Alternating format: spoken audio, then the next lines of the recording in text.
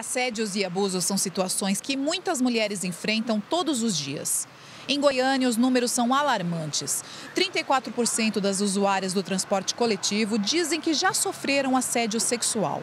Eu já vi situações onde o ônibus estava vazio e vem alguém e, tipo, senta do seu lado e tenta te assediar ou encosta em você de várias maneiras. Também já vi maneiras mais fortes, por exemplo, é, as, alguns homens falam alguma, algumas palavras, é, como que eu posso dizer?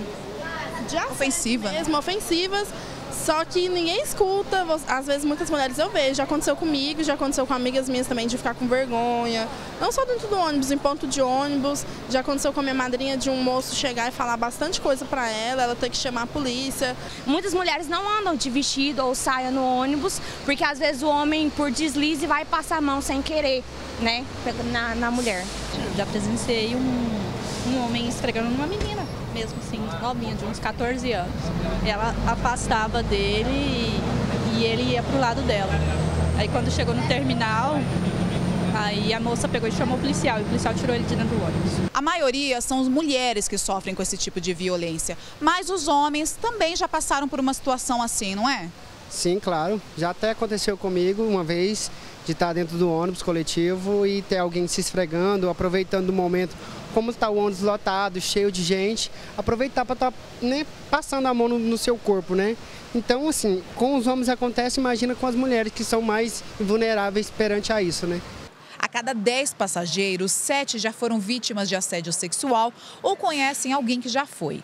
Essa mulher que sofreu abuso dentro de um ônibus não consegue esquecer. Fui agarrada pelo homem, ele chegou a fazer o serviço em mim, e o pessoal me ajudou, foi um pouquinho de distrito, teve audiência lá na, na coisa do, do Planalto, o que aconteceu foi que ele pagou seis cestas básicas para o governo e não fizeram nada, não teve nada contra ele, só isso.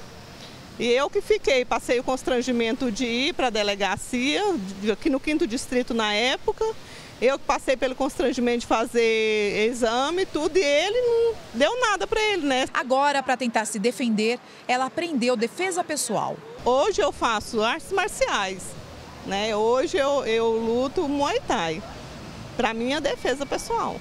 40% dos passageiros deram a nota baixa para o transporte. A média foi de nota 3 e para 77% dos entrevistados, a pontualidade dos ônibus é ruim ou péssima. Eu acho uma vergonha o transporte público, porque a gente paga para ser lesado de todas as formas, porque a gente não tem qualidade nenhuma no transporte. Não vejo qualidade. Não mesmo, e fez foi piorar, né? Mesmo questão do aumento dessa taxa aí, é, o tempo de espera aumentou bastante. Até o eixo está demorando muito, né? E os coletivos mesmo dos outros lugares também tá. Eu quero 40, 40 minutos, agora tá uma hora.